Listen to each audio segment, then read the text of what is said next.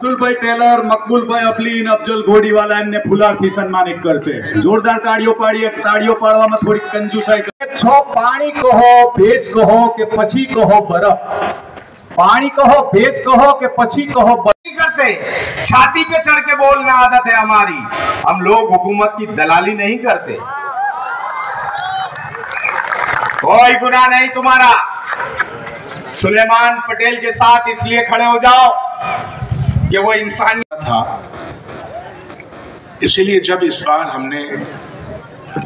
मेरे अपने कैंपेन की शुरुआत की गुजरात में